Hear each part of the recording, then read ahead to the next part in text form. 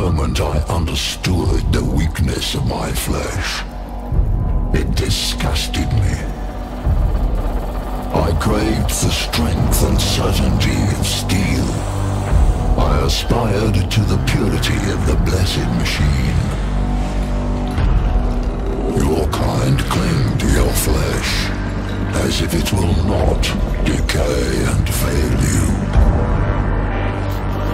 One day the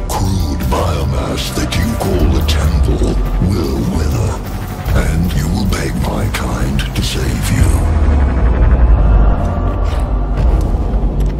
But I am already saved. For the machine is immortal.